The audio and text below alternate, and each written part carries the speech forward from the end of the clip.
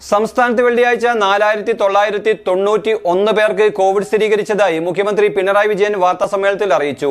എറണാകുളം അറുന്നൂറ്റി രണ്ട് മലപ്പുറം അഞ്ഞൂറ്റി പതിനൊന്ന് പത്തനംതിട്ട നാനൂറ്റി തൊണ്ണൂറ്റി മൂന്ന് കോട്ടയം നാനൂറ്റി എഴുപത്തിയേഴ് കോഴിക്കോട് നാനൂറ്റി അൻപത്തിരണ്ട് തൃശൂർ നാനൂറ്റി മുപ്പത്തിയാറ് കൊല്ലം നാനൂറ്റി പതിനേഴ് തിരുവനന്തപുരം മുന്നൂറ്റി എൺപത്തിയാറ് ആലപ്പുഴ മുന്നൂറ്റി അറുപത്തിനാല് കണ്ണൂർ ഇരുന്നൂറ്റി അറുപത്തിയാറ് പാലക്കാട് ഇരുന്നൂറ്റി അറുപത്തിയാറ് വയനാട് നൂറ്റി എഴുപത്തിനാല് ഇടുക്കി നൂറ്റി ഏഴ് കാസർഗോഡ് എൺപത് എന്നിങ്ങനെയാണ് ജില്ലകളിൽ ഇന്ന് കോവിഡ് ബാധ സ്ഥിരീകരിച്ചത്.